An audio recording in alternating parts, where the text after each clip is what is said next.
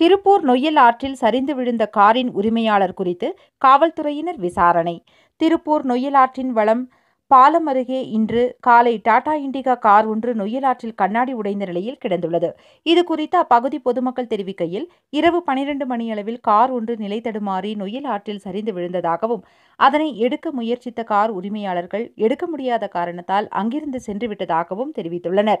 இதுகுறித்து சம்பவ இடத்திற்கு வந்து விசாரணை மேற்கொண்ட காவல்துறையினர் குடிபோதையில் நிலை தடுமாறி சரிந்து விழுந்ததா என்பது குறித்தும் காரின் உரிமையாளர்கள் குறித்தும் விசாரணை மேற்கொண்டு வருகின்றனர்.